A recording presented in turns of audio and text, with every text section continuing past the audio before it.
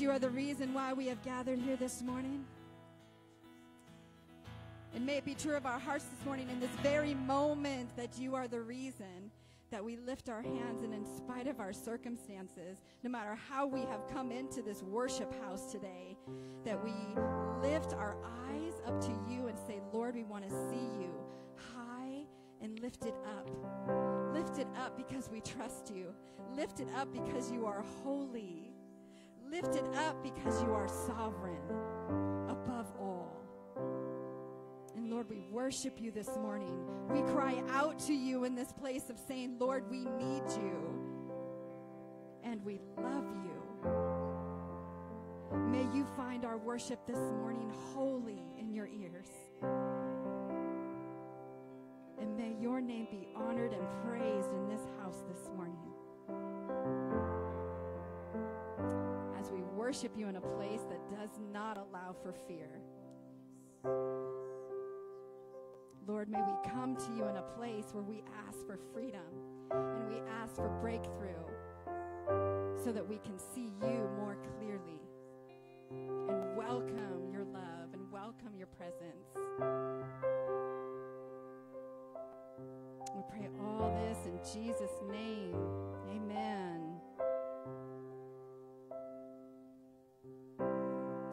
Continue in worship this morning.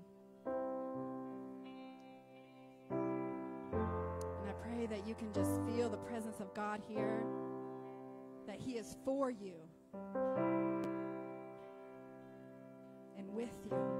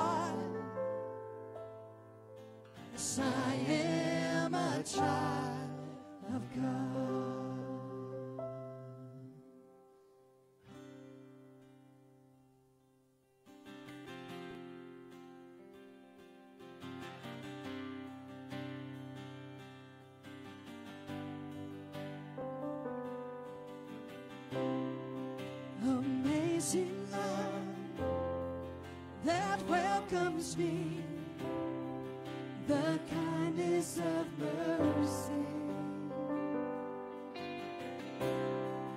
that bought with blood wholeheartedly my soul undeserving. Sing it out. God, you're so.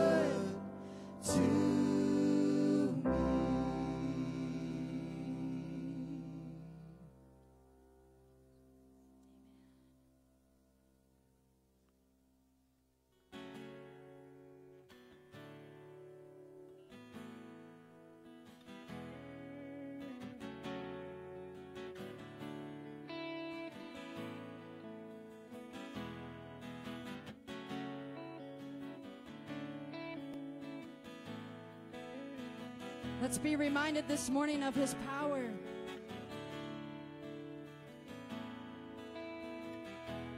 There is power in the name of Jesus. There is power in the name of Jesus. There is power in the name of Jesus break every chain, break every chain, break every chain.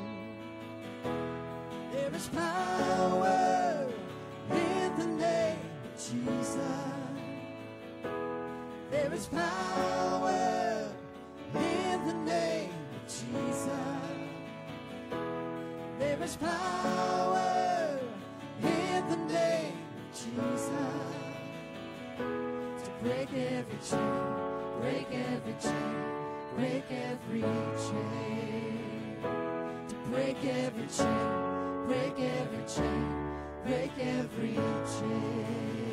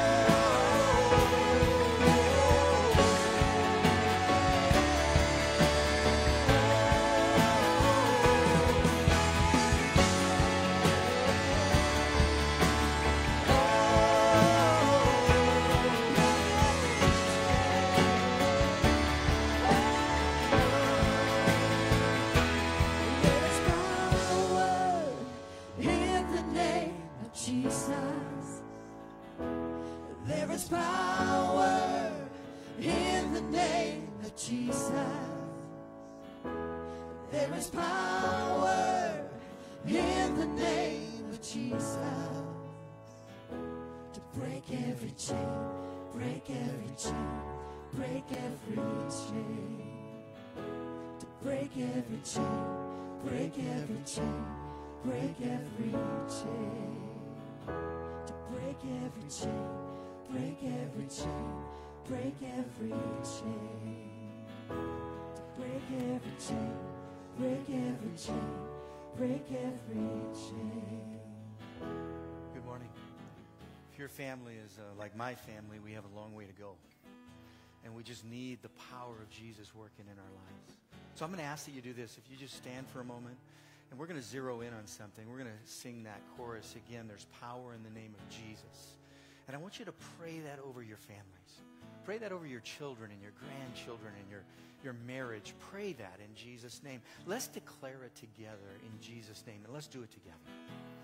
There is power in the name of Jesus. There is power in the name of Jesus. There is power in the name of Jesus to break every chain, break every chain, break every chain. There is power in the name of Jesus. There is power in the name of Jesus. There is power in the name of Jesus to break every chain, break every chain, break every chain, break every chain, break every chain, break every chain. Would you just say amen to that? I mean, we solidify that with an amen. God is good, and He takes care of our families, He takes care of our children, and we give that to Him. God, we're just so thankful that you watch over us, that you pay attention to the details of our lives. And today we give honor and we give glory to you. In the powerful name of Jesus, we pray and we say amen again. Amen. God bless you. It is so good to see you today. You may be seated. Worship team, thank you. It's been a, a pleasure to be able to worship with all of you today. Listen, in just a moment, we're going to receive our tithe and our offering. That's what we do around here. We call that worship. And it really has to do with honoring a generous God. Uh, because he's been generous with us, we want to be generous with those around us. And we also want you to be, uh, be connected to us. So if you get a chance, you can fill out this Canby Connect card. You can drop it in the offering basket when it comes around. You can take it out to the desk out front. But but we just want to stay connected, want to be connected to you and really to community so we can continue to pray. Two weeks from this weekend, we have water baptism. And so I think right now we have 15 or 20 folks signed up for water baptism. And so if you haven't done that yet, this is the big step in our discipleship process. It's water baptism. We believe that with all of our heart. And if you've never been baptized in water, you go ahead and fill that out. We'll have someone contact you and just really walk you through the process of what water baptism is really, really all about. I'm going to ask our ushers to come forward, and we're going to receive our gifts today. Again, thank you for your generosity. Father, we just thank you today for the, the wonderful ways that you pour out your grace in our lives. And Lord, we're reminded of how you've been generous to us. And so we thank you for everything that you're doing, Lord. We thank you that we're part of community that honors you, that lifts up the name of Jesus in this place, the powerful name of Jesus. And so, Lord, once again, we pray over our families. We pray over our community. We pray over this nation in the powerful name of Jesus, that you would bring restoration and wholeness in our relationship with you and our relationship with others. In your wonderful name we pray. Amen, amen, and amen.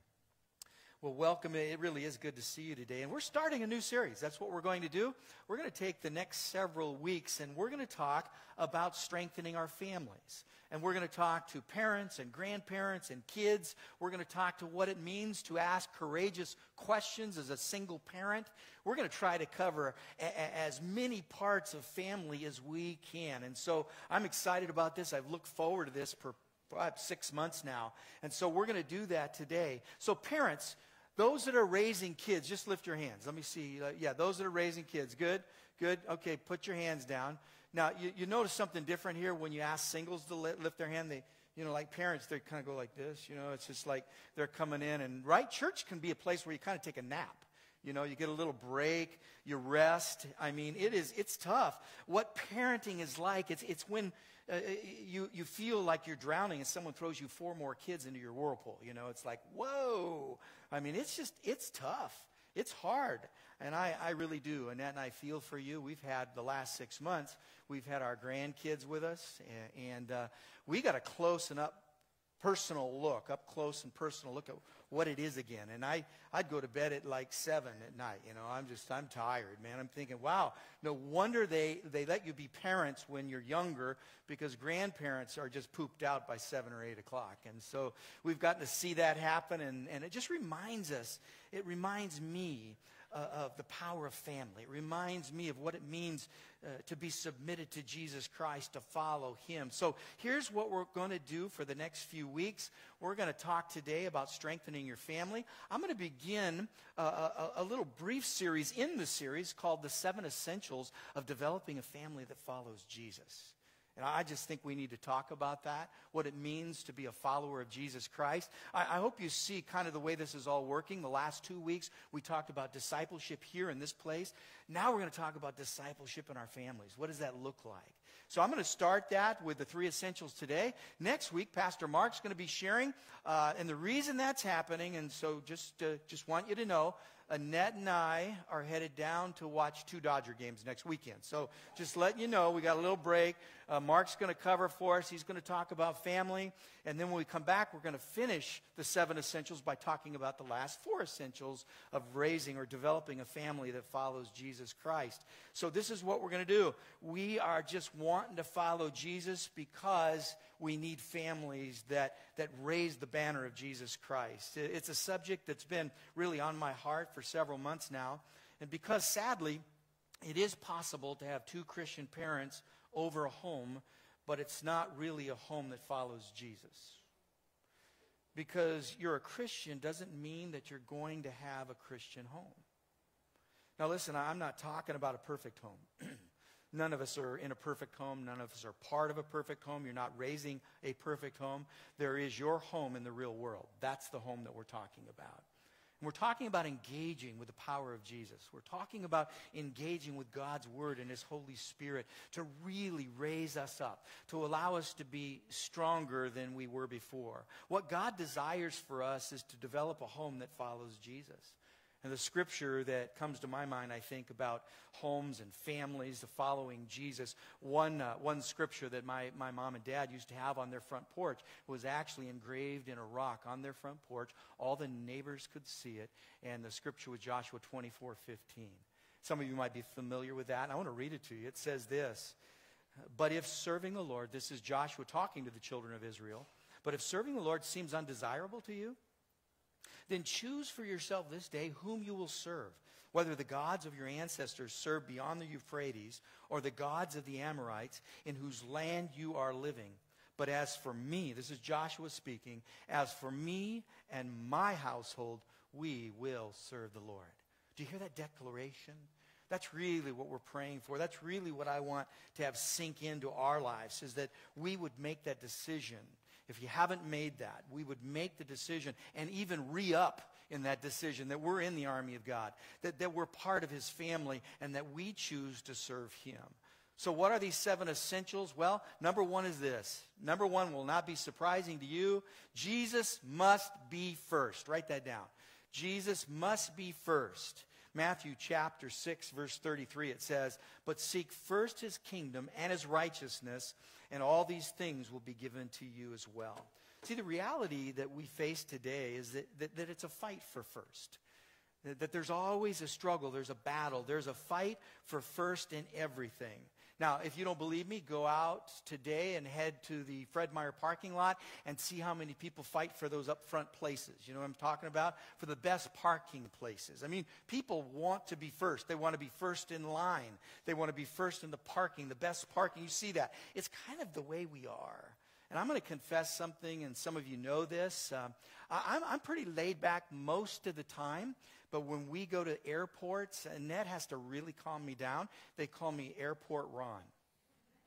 And the reason that happens is something takes over right when I walk through the doors and I'm saying, come on, let's go. We got to be first in line. We got to be first to get our tickets. We need to be first through security. And I'm, it's a quest for me.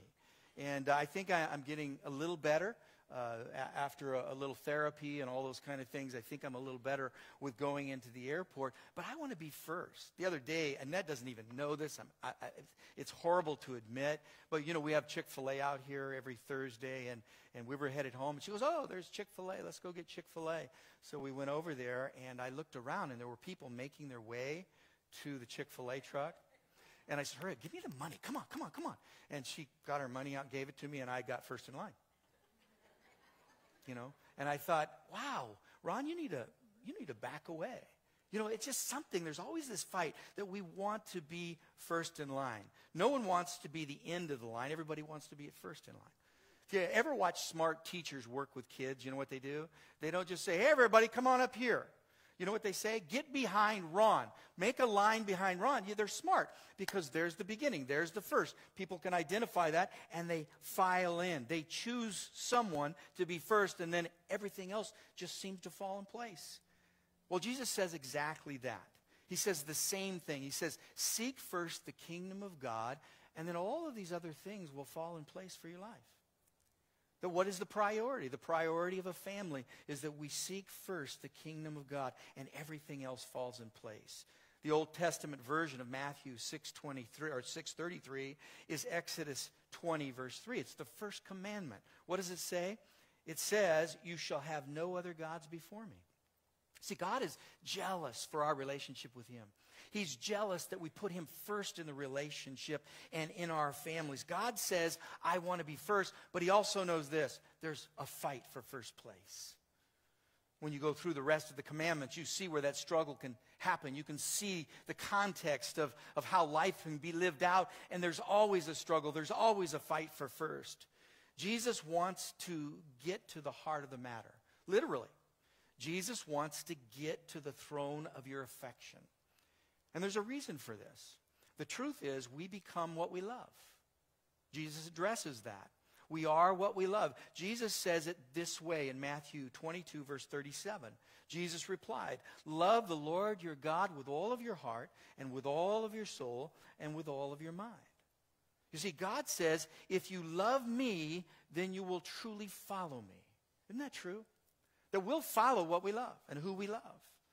So God is saying to us, listen, listen, put me first. Put me first in your in your thought life. Put me first in your emotional life, your spiritual life. Put me first, and all these other things will, will fall into place. What we, I know, what I, and what you must be renewed in. I think the thing that we really need to remember is that we are made in the image of God. The word, uh, the, the Greek word is imago Dei. We are worshipers. And if we don't worship God, guess what? You will worship something. You will worship something. You've been wired to be a worshiper. You've been created by God to be a worshiper. And so that's why we come together like we do on Sunday morning and other parts of the week where we get together and we just say, hey, we're going to set some time aside and we're just going to worship Him. We're going to worship Him with our song. We're going to worship Him with our giving. We're going to worship Him with the Word. We're going to worship Him because if we don't worship Him, we will worship something else. That, that's really the, the nature of how we've been put together. Uh, I think what we have to think about and identify in our lives is what is that something else? You know, what is that something else in your life right now? Uh, could it be just our things? Maybe, maybe it's our safety because that, that's a big deal today. Our comfort, our children. What are the things that we put first before we put before God? So, what determines first? It's the thing or things that you love. Again, we become what we love. So, I want you to listen how John puts it in 1 John, the first epistle of John, uh, chapter 2, verses 15 through 17. It says, Do not love the world or anything in the world. If anyone loves the world, uh, love for the Father is not in them. For everything in the world, the lust of the flesh, the lust of the eyes, the pride of life, comes not from the Father, but from the world. The world and its desires pass away, but whoever does the will of God, what happens? They live forever. So let me put it this way John says you're supposed to put Jesus first, but you're having an affair with the world. Do you remember what Elijah said? He said to the people almost the same thing that Joshua said. He says, Why do you keep jumping back and forth between God and other gods? Why do you do that? And the reason is, is the children of Israel, unlike, or a lot like us, uh, they, we want both. So what John is saying is, listen, you can't have both. We are so immersed at times in the world, we might not even know the difference between the kingdom of God and the world we live in. You see, I, I think that's probably one of the things that, that we need to pay attention to today. What world do we belong to? Are we part of God's kingdom world? Or are we part of the world world that we're, that we're in right now? And I think it's good for us to step back, and, and maybe today we get to do that just a little bit. Step back and say, Lord, in my heart, where, where am I immersed in the world so much that I don't even I don't even know. I can't even distinguish the difference between living in the world and living in your kingdom. So here's my concern. I think it's possible in our Western version of Christianity, we've become detached from what it means to really be a follower of Jesus Christ. And it's possible that we can have just enough religion to inoculate us from the real thing. Jesus says he must be first. There's no other gods we put before him. Parents, if you have a half hearted relationship with Jesus Christ, if, if you're half hearted about following Jesus, your kids will be quarter hearted in following Jesus. I think that's something we, we want to pray over. That's something that in this room we want to get straight. We want to have our, our, our priorities lined up. We want to seek first the kingdom of God. Parents, I, I think we can make ourselves believe that if we bring our kids to church every now and again, then maybe a little Jesus is going to rub off on them. That's not the way this works. Seek first the kingdom of God. Don't put any other gods before you. Jesus isn't about just rubbing off. Jesus is about taking control of our hearts, that he has the throne of our heart, that he has our affections, he has everything about us. Remember, you're the model, parents, grandparents, you're the model in your home. It isn't the responsibility of everyone else. It's our responsibility as parents and grandparents to follow Jesus, to put him first so our kids can see what's going on in our lives. Parents, is Jesus first? That's the question. That's really the best way to start this series on family. When we talk about discipleship, when we talk about family that's following Jesus, is Jesus first? Is he first in life? Is he first in relationship? Is he first in your finances? Is he first? Because I can say this your kids and grandkids have a nose to sniff out what's not first. They do. They have an eye to see those things.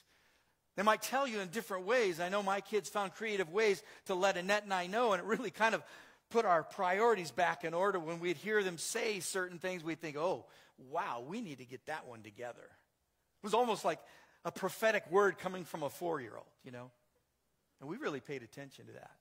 We really wanted to dialogue with our kids to see what was happening in their life. So here's the reminder I want to give you because when we look forward into this series, we're going to finish it on Wednesday evening, October 23rd, in this place, and we are going to pray over our families and kids, and that is how we're going to put an exclamation mark on the Family Life series. We, we, we need to get together. We need to pray over them in the name of Jesus. We need to uh, anoint this place, anoint our homes, go through our schools, round our city, and just pray in Jesus' name, let your kingdom come, thy will be done here where we're at right now.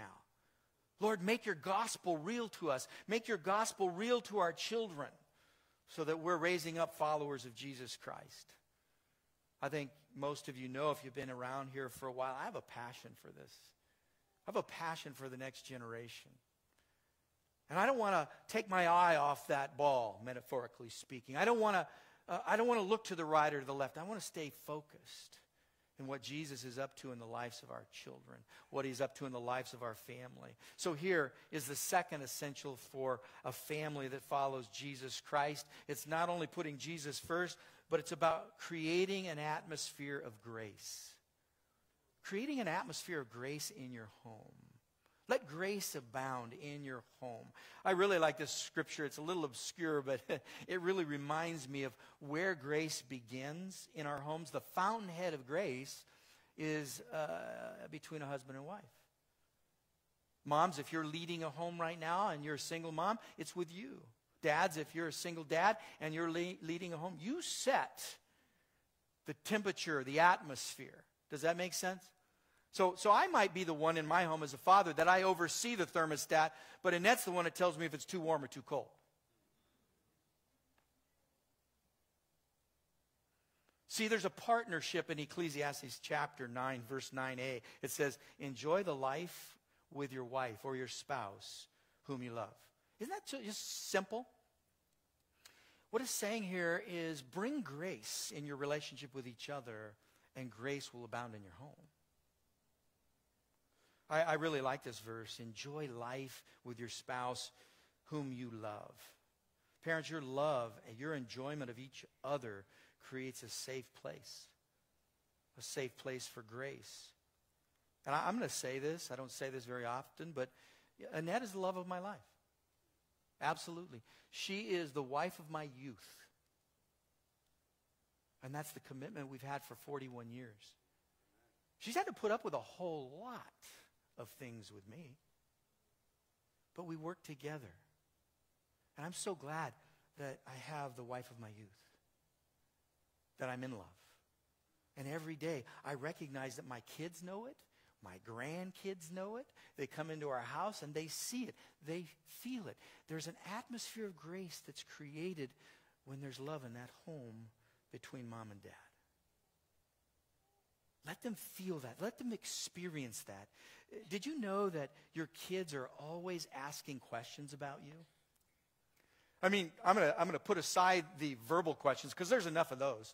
I mean, I just remember spent six months with my grandkids, and I would start to give one answer uh, based on a question they asked me, and I couldn't even get it out before another question came, and I couldn't get it out, and another question came. It was like rapid fire. I'm not used to that, man. It just was like coming at me. But there's some important questions that your kids ask about you that they don't even verbalize. They're observing, they're watching, they're paying attention, but they're nonverbal questions. So, over the years, this is what I've discovered as a parent and as someone who is extremely passionate for our young generation. And it's this, and this is what you have to commit yourself to. So, I'm going to ask all of you to make a commitment right now with me. The way that we understand these nonverbal questions is when we become students of our students. Now, I want to say that again. You must become a student of your children. It's up to you to understand their behaviors. It's up to you to know their weaknesses and strengths. It's up to you to know their gifts, their passions. So I know for me and for Annette, we've made it a thing to become students of our students, our children and we watch them. And in that, you're able to give the direction I think that's needed. So commit today, parents, to be students of your students. And when you do that, I think God's going to show you a whole lot. So here's what happens when you become students of your students. There are three questions that every child needs their parents to answer. Number one question, number one above everything else who's in charge? That's the question. You can write it down. Who's in charge? They always want to know. You know, we're born to have someone in charge of us. I mean, there's, there's protection, there's safety, there's covering in that. But the first question they'll always ask every child needs to know the answer. Every child will question their parents' God given authority, some more than others. And I have a few of those sums in my house. This is why our children need their parents to establish boundaries, spiritual covering.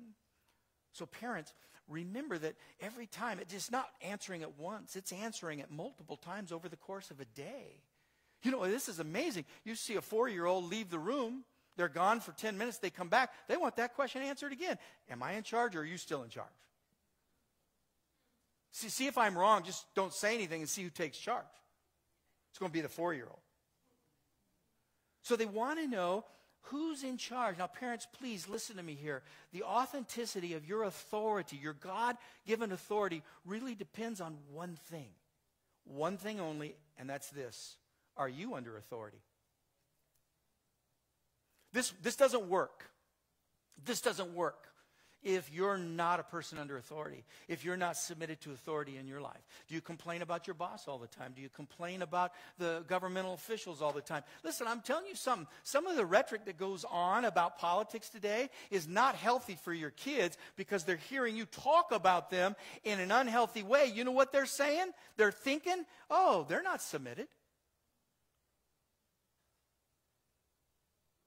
Listen, for our children to follow us, to be submitted to us, to understand godly authority in our lives, we must be submitted people. I want to be submitted to God. I, I, I submit in my home out of reverence for each other. I, I submit to uh, uh, uh, the elders and the council, and, and I, submit, I, have, I have a lot of different places that I take seriously about submitting because I know this it's dangerous place to be if you're not submitted. What it means is you then become the authority. You then become the smartest person in the room, and that is absolutely dangerous. See, I, I, want to live, I really do, I want to live a submitted life. And if you're not submitted, those kids see it. And in the eyes of your children, if you're not submitted to them, it's a double standard. They can see the lack of authenticity. Jesus had authority because he was under authority. Do you see this? Jesus had authority because he was someone under authority. What did he say? Not my will be done, but the will of my Father who I'm submitted to. So I would say this if the Son of God is submitted and understands the value of that, the power of that, then it's probably good we would understand that. Here it is. Keep a balance between authority and affection in your home. Keep a balance between authority and affection in your home. There really is a balance. I don't think anyone has to be a tyrant to have authority. In fact, I've always believed this. If you're the sheriff in town and you have to pull out your gun, you're probably not the sheriff in town. You know what I'm saying? If I have to always say you're going to do this because I'm the pastor, I'm probably not the pastor, at least to you. See, there's a reverence that we have for each other. Jesus submitted. Next question your children ask is this Once established that you're the one in charge, God given authority, is this question Which way are we going? Okay, you're in charge. Where are we going? I mean, I'm getting on this bus, I'm on this train. Which way are we going? You, you, you, you, you lead us. Kids are looking for that. They want that kind of direction in their life. This addresses the longing that every child has for direction. Parents, you help establish a child's spiritual compass when you give them direction and they watch you read God's word. They, they listen to your language. They know that you fast, they, that you pray, that you come into community, a, uh, uh, a faith community. They see all of this. And what you're doing is you're establishing their compass, their spiritual compass. And I'll say this I do know there's times that kids start to think more on their own. They, they, they do know that, that, that, well, now it's my turn. I'm, I'm 18. I mean, they think it's magical, but it scares me. I pray for them. But I'm going to tell you something. If you've set a good compass, they'll come back they will be grounded. It's our responsibility to do that. It's your responsibility to point your children to Jesus through the guidance of God's Holy Spirit and God's Word. I was convicted the other day. uh, uh, with my grandkids around and, and my kids. And I was convicted the other day. I, I read the Bible out of my app. You know, I have it on my iPad. Well, I put it away. I need to read the Bible out of the Bible. Now, I'm not trying to show off, but I want my kids and grandkids to know that I open God's Word. I'm the one that establishes legacy. I'm the one that, that again, oversees the thermostat. I want it to be hot for Jesus. And so I put away my iPad, pulled out my Bible. I'm reading the same thing. Parents, open your Bibles. Read your Bible. Leave your Bible open. I think it's an invitation to God's Holy Spirit to invade your house, your home, your relationships. It's also an invitation to your kids to dive in to God's Word. Proverbs 22 6 says this train up a child in the way, the direction that he or she should go. Remember, you're pointing them to Jesus, constantly pointing them to Jesus told this story a long time ago, but it still holds true because I, I have this, this picture and this picture in my mind of what it means to point our children to Jesus. I, I used to play Little League. My dad was the coach. My dad was the third base coach. And every time I got on base, I was always looking. When I was rounding second, I was looking at the third base coach. The signal that I love more than anything else was this one. You know, it was like, go home, go home. Listen, our job isn't to get them three quarters of the way there. Our job is to wave them home. Get them home to Jesus. Let them be firmly planted in, in faith in Jesus Christ. And then the third question your kids are asking about their parents is Are you going to go with me? All right, you're the one in charge. I'm on your bus. Are you going to go? Or are you just going to tell me to go? This has everything to do, listen, it has everything to do with conviction, determination, resolve to do what you're asking them to do. It takes action. Not just talk, but it takes action. Parents, don't think that your influence ends when your kids leave the house.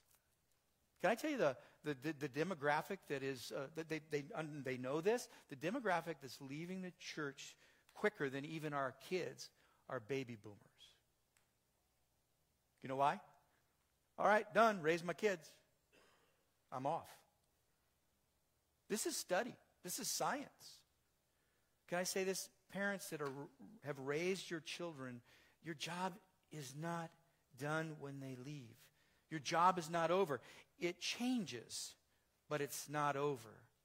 So, grandparents, this is where you can be incredibly valuable to a home because we've lived in a kind of a fragmented, almost transient community more than we've ever lived before. We need grandparents. We need grandparent like people as well that'll be in our homes, that'll help us, that'll pray for us. We need that.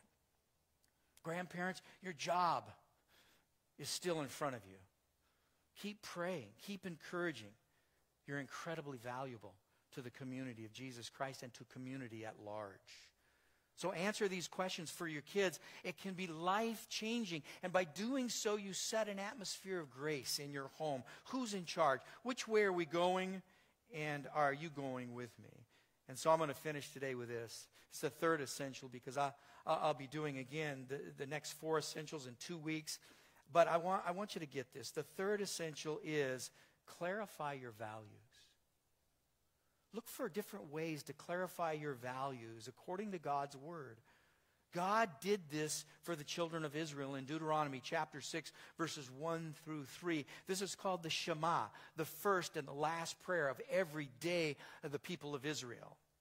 They used to bind them and still do. They're called phylacteries on their head. You've seen the, the, the, Jewish, devout Jews put a box on their head and they put it on their wrist. That is literal. Keep it before you, the Shema. Keep it before you every day, before your head, on your wrist. Bind them on you. It's the Shema. Read it when you get up, read it before you go to bed at night. And it says this these are the commands, decrees, and laws of the Lord your God, directed me to teach you to observe in the land that you are crossing the Jordan to possess, so that you, your children, and their children after them may fear the Lord your God as long as you live by keeping all his decrees and commands that I give you, and so that you may enjoy long life. Hear, Israel, and be careful to obey so that it may go well with you and that you may increase greatly in a land flowing with milk and honey, just as the Lord, the God of your ancestors, promised you. That's the Shema. And today it hasn't escaped me that, that parents in this room, including Annette and I, we look back at times and we think, man, I, re- I, I regret that. There, there's hard things that I look back at and I think, man, I wished I would have never done that. I wished I would have never said that. There's not a parent or a grandparent in this room that hasn't dealt with regret. But here's the great thing God's Holy Spirit can come in and take that and make it a lesson for your life, and you grow stronger in that when we obey Him, when we obey His commands. Listen, our children are a gift from God. Our grandchildren are a gift from God. Did you know that it costs in the state of Oregon over $200,000 to raise a kid from the age 0 to 18? I think my daughter's twice that much. If you got girls, it might be a little more than that. How do we clarify our values? This is an investment that we're, we're making. How do we clarify our values? By first knowing who and what influences our kids. Who and what is influencing your children, your grandchildren? Who is it? Here are three things, three sources of influence. Let me give you what they are. One is external. Huge pressure, huge influence is it external pressure and influence. It's uh, everyone says. You've heard that. Well, everyone's doing it. Your kids come to you. Can I do this? No. Well, everyone's doing it. So there's an external pressure. You hear that all the time. Parents, you hear that. Oh, mom, ah, dad, everyone's doing it. But our life is a bit different. Doesn't mean it's absent of fun. It's just different. Romans 12, 2 says, Do not conform to the pattern of this world, but be transformed by the renewing of your mind. We're no longer living the way the world lived. We're living in the kingdom life, God's kingdom. Then you will be able to test and approve what God's will is, his good, his pleasing, and perfect will. I love that. So there's an influence that comes from the outside. There's also internal influences in the culture we live today. It's the voice inside of me that says, My feelings say. I'm going to do this because I just feel like doing it. We become our own experts because my feelings say. We don't defer to God. We don't defer to His Word. We don't submit to that. And Isaiah 55 8 says, For my thoughts are not your thoughts, neither are my ways your ways, declares the Lord. He has a higher way for us. He's called us to a higher standard. And then, I love this, there's another influence. It's eternal. It's the Word of God. The Word of God is above me. It is about what God says. It's not about what others say. It's not about what my feelings say. It's about what God says. In 2 Timothy chapter 3, verse 16, first part of this says, All scripture is good and breathed, and, and uh, breathe, God breathed, and is useful for teaching, rebuking, correcting, and training in righteousness. Wow. Uh, that's powerful. That is powerful. Parents, let's hold to the Word of God. Let's stand on the Word of God. Let's immerse ourselves in the Word of God. We need to raise the value of God's Word in our lives. Let them see and know the Word of God. And I'm going to finish with this. As parents who follow Jesus, we value the fact a few things that we really value. Number one is we are creating an eternal soul, aren't we? That we're creating an eternal soul. That that's we've been given that responsibility to raise a soul that will live forever. That's that blows my mind. You've heard young couples say this oh, we're going to get married and we're going to have a little baby. They never say, oh, we're going to get married and have a little teenager. They don't say that kind of thing. It's like we want a little baby.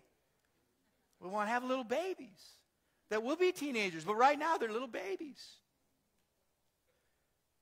Say, when parents say that it's their first, I, I know for me, I had no idea what was ahead for me. I just remember taking my first out of the hospital and thought, isn't somebody going to come with me and help me with this? I mean, is it? No, no. Uh, you mean I? Oh, you know, it hits you right then. You're going, oh my gosh, I'm in charge. That's scary.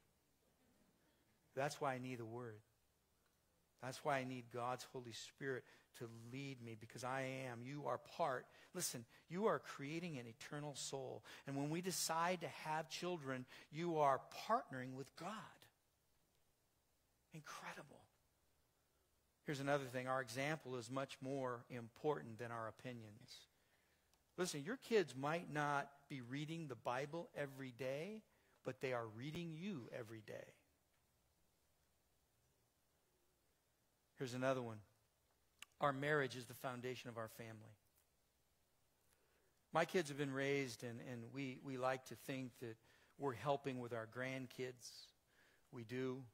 Uh, the constant, the foundation is Annette and I have been married for 41 years. That, that, that, that has some cred, you know, that gets you a little street credibility. I, I felt like a rookie up till about 15 years ago.